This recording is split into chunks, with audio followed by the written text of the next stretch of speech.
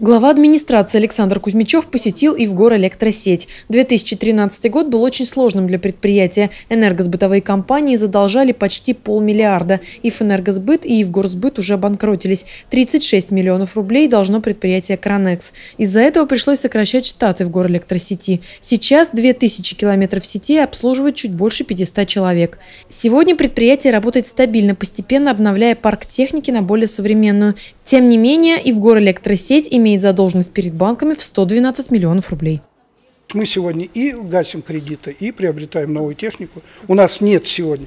Мы э, бюджета всех уровней в год платим 180 миллионов рублей.